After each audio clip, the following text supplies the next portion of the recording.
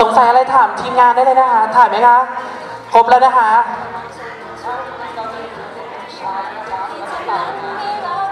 มีไหมคะ ถ้าไม่มีจะเป็นกรุ๊ปนี้กรุ๊ปสุดท้ายนะคะ วันนี้เราทำเวลากันได้ดีมาก ๆ เลย เพราะว่าวันนี้เราจะดูซีรีส์พร้อมกันแบบตรงๆหนึ่งทุ่มตรงนะคะ และอย่าลืมนะคะ วันนี้ติดแฮชแท็กให้เราด้วยนะคะ กับแกปพีเมีย EP หนึ่งค่ะ ติดแฮชแท็กได้เลยตลอดทั้งงานค่ะ กับ